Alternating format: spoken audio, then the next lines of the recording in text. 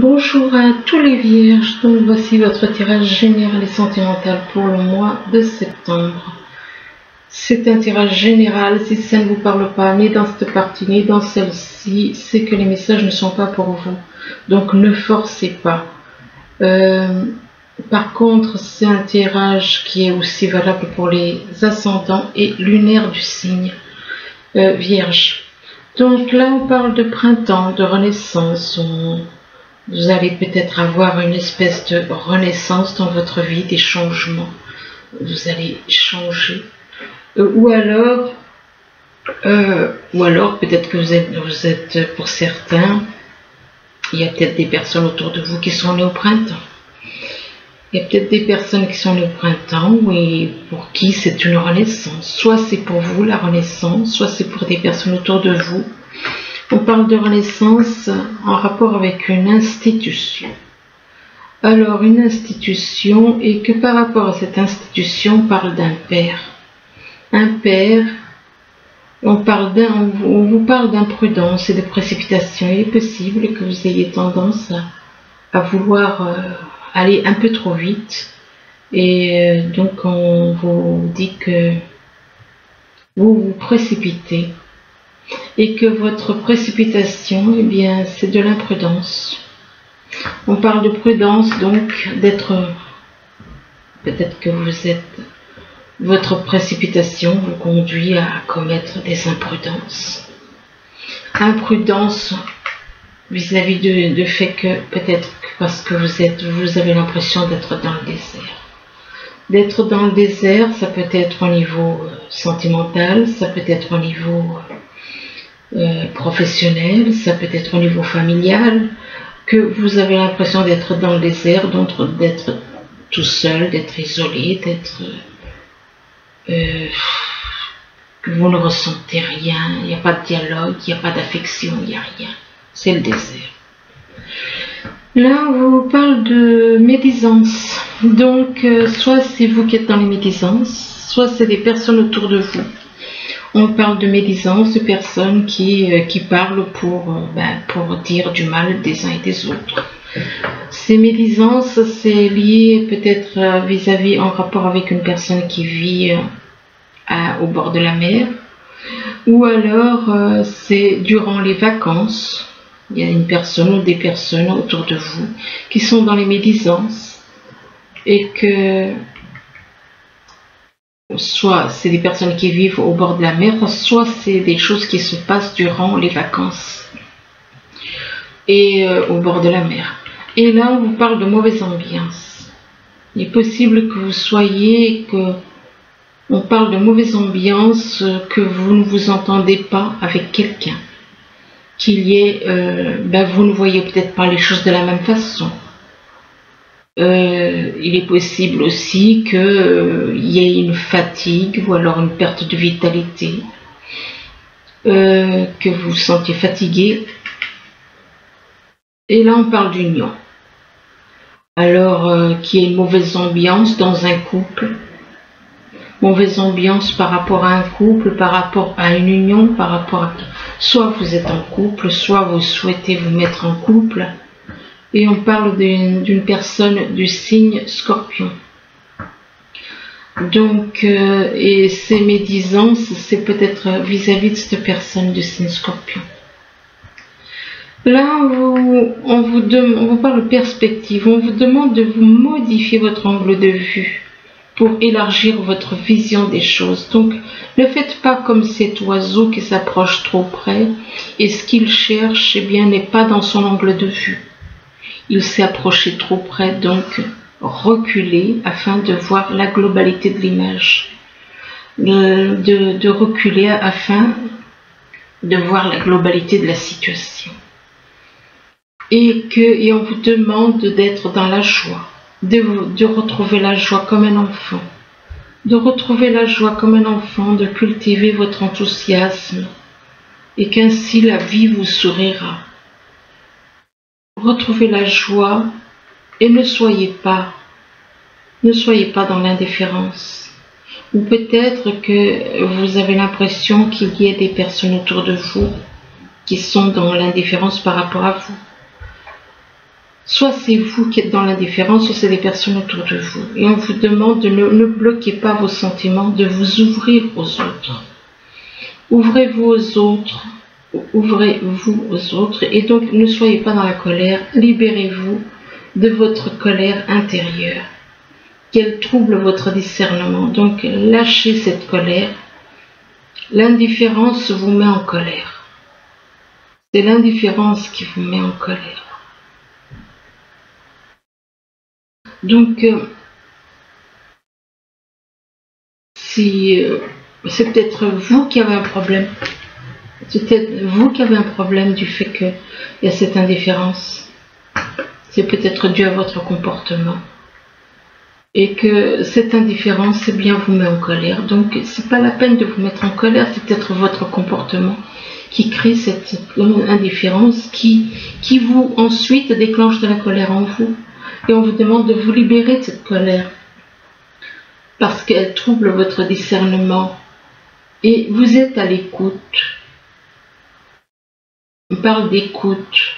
On vous demande d'écouter votre petite voix intérieure, de vous mettre à écouter votre petite voix intérieure. Donc la voix qui vient de votre âme, la voix qui vient de votre cœur, de votre âme.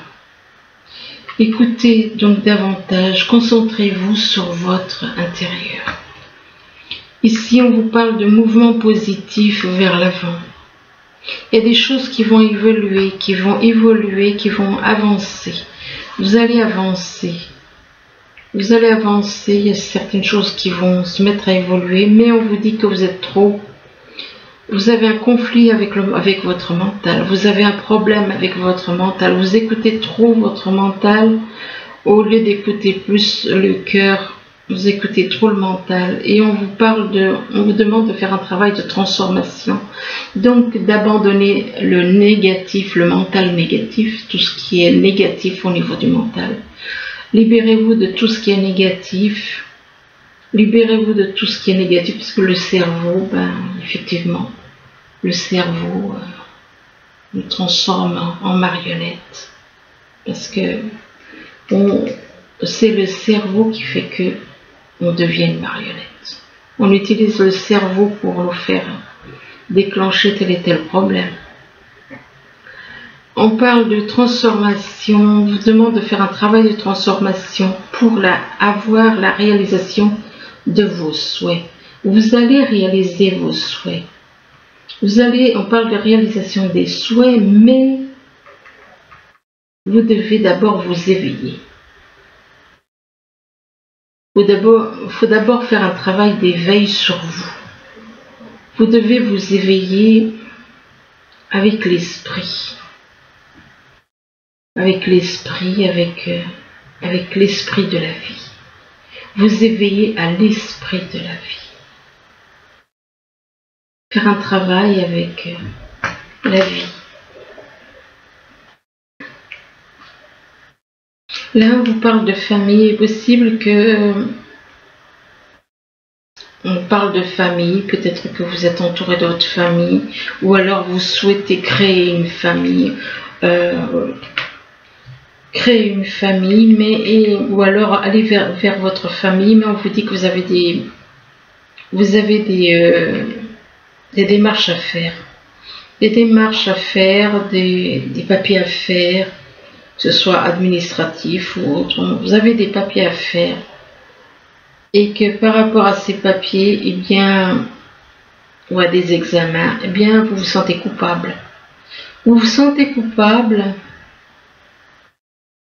vous ressentez de la culpabilité vis-à-vis d'un enfant. Et que vous ressentez de la culpabilité, peut-être que vous avez mal agi, du coup vous vous sentez coupable.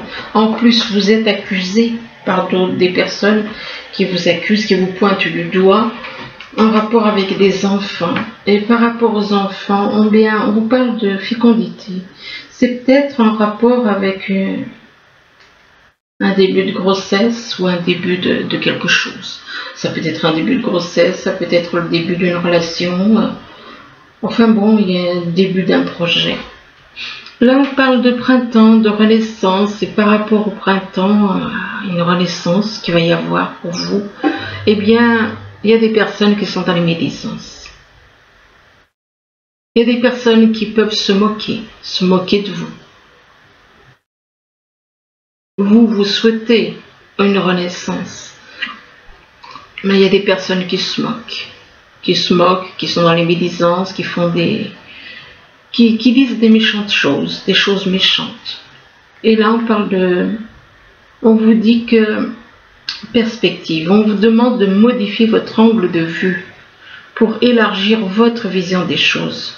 Donc, euh, ne vous approchez pas trop près d'une de quelque chose. Euh, observez, prenez du recul. Prenez du recul. C'est comme euh, cet oiseau.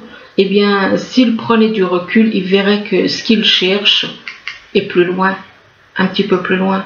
C'est au même endroit, mais légèrement décalé. Donc, prenez du recul et pour avoir une vision des choses plus élargie. Et qu'en ayant une vision des choses plus large, eh bien, ça va vous permettre d'aller de l'avant. Ça va vous envoyer, vous faire aller avoir un mouvement positif vers l'avant. Un mouvement positif vers l'avant par rapport à de la famille, en rapport avec de la famille, ou alors le fait que vous ayez envie de créer une famille peut-être. Ici, on vous parle d'institutions, donc vous avez peut-être affaire à des institutions. on parle d'institutions pour quelqu'un qui vit au bord de la mer. Pour quelqu'un qui vit au bord de la mer ou quelqu'un qui est en vacances au bord de la mer et euh, que ben, le fait d'aller peut-être d'être au bord de la mer, c'est peut-être quelque chose qui vous apporte de la joie. La mer, ça peut vous apporter les vacances au bord de la mer ou habiter au bord de la mer. Euh, c'est quelque chose qui peut vous apporter de la joie. Éventuellement, on vous demande de redevenir comme un enfant, de cultiver votre enthousiasme, que la vie vous sourira de cette manière. Mais vous, vous êtes trop dans le mental. Vous avez un conflit avec votre mental. Vous écoutez trop votre mental. Donc soyez davantage avec le cœur plutôt qu'avec le mental. On parle de conflit avec le mental par rapport à des papiers. Peut-être un examen ou des papiers, des démarches administratives ou des examens. Il est possible que votre mental vous joue des tours par rapport à ça. Là, on parle d'un père, d'un père, donc euh, un père, un homme qui est un père. Donc, euh, s'il est un père, c'est qu'il est, c'est qu'il a, des enfants. Et euh, donc, par rapport à ce père, eh bien, ou alors c'est vous en tant que père, ou avec votre père, une mauvaise ambiance. On parle de mauvaise ambiance donc vous n'êtes pas en accord, vous n'êtes pas d'accord l'un avec l'autre. Donc vous, ça crée une mauvaise ambiance entre vous, le fait que vous soyez en désaccord, vous vous tournez le dos. Et là, peut-être par rapport à votre père, vous avez l'impression, parle d'indifférence. D'indifférence, vous avez l'impression qu'il y a une certaine indifférence entre lui et vous. Et on vous dit ne bloquez pas vos, sentiments, mais de vous ouvrir aux autres. Dites ce que vous avez à dire. Ne, ne gardez pas pour vous. Et en faisant ce travail donc par rapport à cette indifférence, eh bien on vous parle de transformation, on vous demande de faire un travail de transformation. Justement, ne soyez pas dans les différences et faites un travail de transformation. Faites un, travail pour vous libérer de tout le négatif, tout ce qui est négatif, en rapport avec de la culpabilité. Libérez-vous de cette culpabilité. Il est possible que vous ressentiez de la culpabilité par rapport à votre père. Aussi. Et que des personnes vous pointent du doigt en plus. C'est possible que vous ressentez de la culpabilité. Ici, on parle d'imprudence, de précipitation. Imprudence et précipitation par rapport à une union. Vous voulez vous lancer, euh, vous voulez vous lancer dans une union, ou alors ou soit vous voulez vous, vous lancer dans une union, ou alors vous êtes déjà en couple et qu'on vous demande de, ne pas précipiter peut-être les choses. Donc ce qui veut dire peut-être que vous voulez peut-être laisser cette personne. Et euh, on parle d'imprudence, donc ne, commettez pas d'imprudence ni de précipitation par rapport à une union. Et que par rapport à cette union, eh bien on parle de colère. Donc, est possible, voilà, donc vous êtes bien en couple. Sinon, on ne parlerait pas de colère en rapport avec une union, vous êtes en couple. Et que par rapport à ce couple, ben, vous êtes dans la colère. On vous demande de, ne pas rester dans la colère. Et euh, de ne pas rester dans la colère que ce n'est pas bon. Ben, déjà, c'est pas bon pour vous. C'est pas bon pour votre santé. C'est pas bon pour et en plus de ça, ça trouble, ça vous empêche de voir les choses avec discernement. Euh, et là, on vous dit que on parle des réalisations des souhaits. Vous êtes en colère parce que vous souhaitez réaliser certaines choses. Vous avez des souhaits que vous voulez réaliser. Et du coup, ben, vous êtes en colère par rapport au fait que vous êtes déjà en couple réalisation des souhaits par rapport à un enfant. Ou alors euh, avec quelqu'un qui a des enfants. Là, on vous parle de désert. Vous avez l'impression d'être dans le désert, tout seul, abandonné, rejeté, euh, sans affection, sans rien. On parle de désert et pour quelqu'un, ou alors, soit c'est vous qui êtes dans cette euh, dans ce cas, soit c'est, on parle de désert en rapport avec une personne du signe scorpion. Ou alors c'est, soit c'est vous qui êtes dans cette situation, ou alors c'est cette personne du signe scorpion. Et par rapport à cette personne du signe scorpion, il est possible que vous écoutez, vous écoutez cette personne, vous écoutez les messages, des messages en rapport avec elle, euh, avec cette personne on vous demande de, vous mettre à... On vous dit mettez-vous à l'écoute de votre petite voix intérieure. Donc écoutez vos messages intérieurs. Écoutez vos messages intérieurs. Peut-être que cette personne essaye de dialoguer avec vous par télépathie. Et donc, euh, écoutez vos messages euh, donc, euh, Soyez à l'écoute de votre petite voix intérieure et que en écoutant votre petite voix intérieure, ça vous apportera l'éveil. C'est magnifique. Ça vous apporte l'éveil, le fait d'écouter les messages de, de l'univers, on va dire, de l'esprit de la vie. Ça vous apportera l'éveil. Ça vous apportera l'éveil concernant, euh, et, là on parle de fécondité, ça sera peut-être euh, quelque chose, un début d'éveil, quelque chose qui va, comme un bébé qui grossit, eh bien, votre éveil à la spiritualité va grandir de plus en plus. Mais moi, je vous le souhaite. Là, on parle d'arbres, donc on vous demande de vous intéresser à la connaissance. Que la connaissance, euh, peut-être que vous n'êtes pas dans la connaissance, et donc que la connaissance vous apportera de la sagesse, de la force. Euh, et là, on vous incite à aller de l'avant. On vous parle d'un oui. On vous encourage à aller de l'avant avec la carte du oui oui, par rapport à de la créativité, ça peut être de la créativité en rapport avec les arts, la musique, euh, que vous avez envie de vous lancer là-dedans. Et euh, créativité, de créer quelque chose peut-être, de créer peut-être quelque chose avec quelqu'un qui est né au printemps, ou alors, euh, excusez-moi pour printemps, oui ben écoutez, si j'ai dit au printemps, c'est que c'est au printemps. Mais là, je parle de l'automne. Euh, il y a peut-être quelqu'un d'autre qui est né au printemps avec qui vous avez un lien. Donc, euh, on parle d'automne.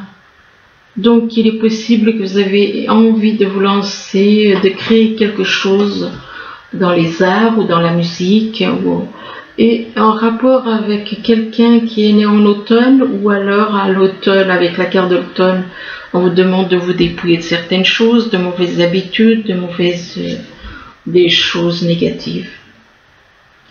Euh, ou peut-être que vous êtes trop attaché à certaines choses matérielles, trop, de d'ambition, trop de donc on vous demande de vous dépouiller de ça. Éventuellement, ça peut représenter aussi l'automne. On parle d'automne et on parle de demeure. Et peut-être, oui, je pense que possible que vous ayez envie de créer un foyer avec quelqu'un qui est né en automne. Et par rapport à par rapport à ce foyer où vous vous sentirez euh, vous sentirez en sécurité, où vous vous sentirez bien, quoi. Eh bien, on parle d'abondance. Ça vous apportera de l'abondance, de l'abondance en amour, abondance, et, mais par rapport à cette abondance, que ce soit au niveau euh, abondance sentimentale ou abondance euh, autre, eh bien, on vous dit attention contrôle, ou attention mentale qui vous contrôle. Attention mentale qui vous contrôle et on parle de messages. Il est possible que vous receviez des messages, voyez, que vous recevez, j'en parlais et là maintenant ça se passe. Pas, il est possible que vous receviez des messages, par télépathie et que par rapport à ces messages, on vous dit que vous allez avoir des nouvelles des nouvelles d'une personne, d'un signe de terre, alors que ce soit euh, Capricorne, Taureau ou Vierge. Bon, à savoir que vous êtes un signe de terre. Et par rapport à ce signe de terre, on parle de quelqu'un de courageux, qui a de la force. Une personne courageuse et forte. Forte, c'est pas au sens physique, c'est au sens spirituel. Euh, avec euh, quelqu'un d'un signe d'eau, peut-être vis-à-vis par rapport à quelqu'un d'un signe d'eau. Ça peut être un poisson, un cancer, un scorpion. Et par rapport à cette personne du signe d'eau, on parle de, de tristesse. De tristesse, de tristesse et peut-être même de la méfiance. Ou alors on vous dit attention, dans votre entourage, il y a des personnes qui sont rusées, qui sont rusés et que ce que ces personnes veulent, c'est uniquement euh, s'élever. S'élever. Donc, euh, par rapport à cette élévation, soit il va y avoir une élévation au niveau euh, d'un couple, une élévation, quelque chose qui grandit, donc ça peut être un couple, ça peut être au niveau sentimental, ça peut être au niveau professionnel, et eh bien on vous demande, on vous dit que vous allez avoir une décision à prendre, une décision mais on vous demande d'écouter votre conscience, écouter votre conscience pour prendre cette décision et que votre conscience vous apportera la libération. Vous aurez, vous allez obtenir une certaine libération, mais prenez une décision en écoutant votre conscience. On parle de libération, libération peut-être de la, de la, de la tristesse, si vous êtes dans la tristesse, bien vous allez peut-être obtenir une libération par rapport à de, la tristesse. Et on vous dit que vous avez des bonnes pensées pour quelqu'un. parle de bonnes pensées et là on vous parle de rencontres lors d'une sortie. Donc euh, vous allez avoir de bonnes pensées vis-à-vis d'une personne que vous allez rencontrer et que cette personne que vous allez rencontrer lors d'une sortie, c'est une personne que vous avez déjà rencontrée par le moyen de, des télécommunications. Mais hum, vous avez des craintes, et des doutes et des peurs hum, par rapport à cette personne. Vous avez des doutes et des peurs et on vous dit que ce n'est pas fondé. Ça n'a pas lieu d'être. Vous n'avez pas à avoir de doutes et de peurs vis-à-vis -vis de cette personne. Et on vous dit que donc, on vous fait comprendre que c'est votre âme sœur spirituelle. On vous dit que votre âme sœur spirituelle n'est pas prête. Votre âme sœur spirituelle n'est pas prête et on parle de blocage matériel et financier. Je vais encore en tirer deux, trois, puis j'arrête.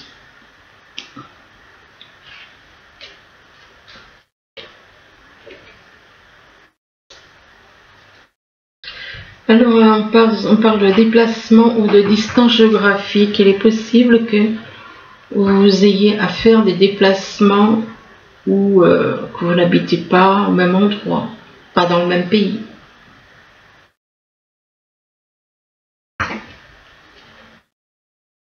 Et euh, on parle du, on vous parle, cette personne euh, que vous allez rencontrer, eh bien on parle d'une personne séparée ou divorcée. Donc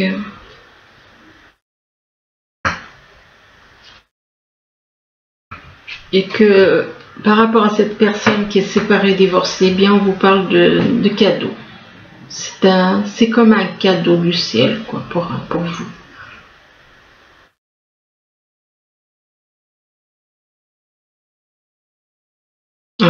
Mais il y a une différence d'âge entre vous. Il y a une différence d'âge. Peut-être que la différence d'âge bloque.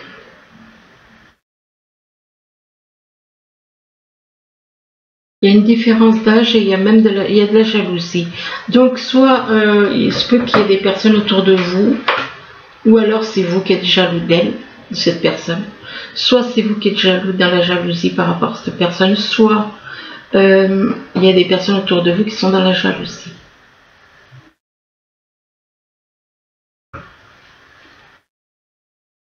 On parle de jalousie par rapport aux enfants. Par rapport aux enfants, il y a de la jalousie. Donc voilà, bah écoutez, je j'espère que ce tirage pourra vous aider. Du moins, je vous le souhaite. Je vous remercie et je vous dis à bientôt. Au revoir.